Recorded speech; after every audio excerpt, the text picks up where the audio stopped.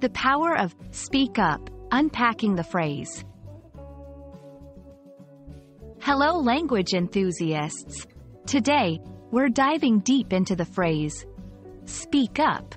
If you've heard it before and wondered exactly what it means, or how and when to use it, you're in the right place. Speak up primarily has a very direct meaning to speak louder or more clearly. For instance, if someone is talking too softly in a noisy environment, a person might say, Can you speak up? I can't hear you.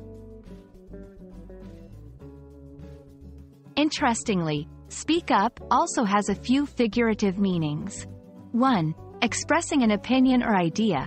If someone says, if anyone has a different idea, please speak up, they mean, please share your opinion or thought. 2. Defending someone or something. You might hear it in contexts like, she spoke up for her friend when he was wrongly accused. This means she defended her friend or expressed support for him. In many cultures, speaking up, especially against authority or the majority, might be seen as disrespectful or inappropriate.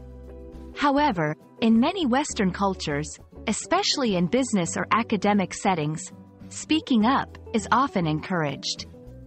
It's seen as a way to share fresh ideas, challenge old ones, or bring light to issues. When asking someone to speak louder, it's generally polite to add a please. Could you please speak up? If you're encouraging someone to share their opinion or defend someone, you can say, Don't hesitate to speak up if you feel differently. Always be aware of the cultural context.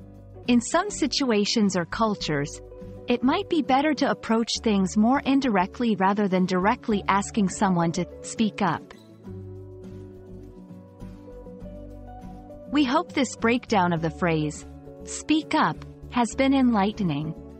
Language is a beautiful thing, and phrases like these, with their literal and figurative meanings, showcase its depth and richness.